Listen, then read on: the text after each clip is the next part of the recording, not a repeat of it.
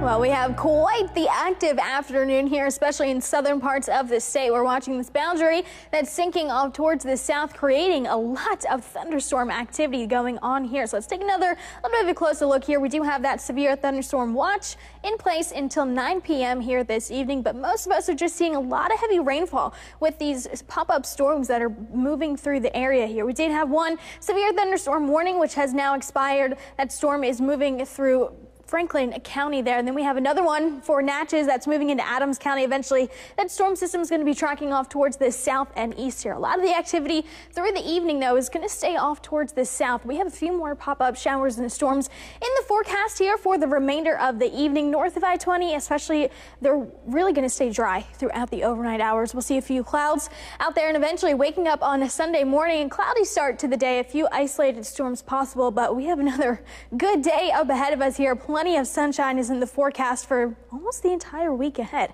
Woke up this morning at 77 second morning in a row that we did not wake up in the 80s here. By the afternoon, we hit 92 degrees today. Here's a look outside right now. Pretty nice looking afternoon. We have a little bit of a breeze out there. Those winds coming from the north, about 13 miles an hour. It's bringing in a lot of drier air, making it feel a little bit more comfortable outside. A lot of that drier air, though, will settle in really tomorrow. 90 is the temperature right now here in Jackson. Feels like 99. Still got a little bit of a ways to go to reach our low temperatures for tonight. But look at this. We haven't seen 60s on the board here in quite some time. Upper 60s for southern parts of the Delta and eastern parts of our state here at Kosciusko. Waking up tomorrow at 66 degrees, 70 expected here in Jackson and 71 from Bassfield all the way down into Natchez. Waking up tomorrow morning and again, that stationary front is sinking off towards the south, which means our dew points are on the lower end, upper 50s to low 60s across the board. So we get a little bit of relief here for the first few days of the week ahead. And then a lot of that hot and humid conditions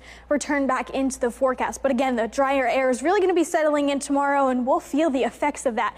High temperatures in the upper 80s to low 90s for tomorrow afternoon. A little bit of a change as compared to what we've been seeing here for the past few days. And when those dew points are in the lower end, that means our real feel values are only going to be a few degrees above what our actual temperatures are going to be. So plenty of sunshine is in the forecast again for tomorrow, but that heat is not going anywhere. We're still going to be seeing a lot of the effects from that high pressure off into the desert southwest, still building into our region all throughout the week. But the first half of the week, won't be feeling too bad, all thanks to that drier air that will be building into the region here. So here's a look at our very sunny seven day forecast here. Plenty of sunshine for every day of the week ahead. Temperatures stay pretty consistent in the mid 90s, wake up temperatures in the low 70s this week.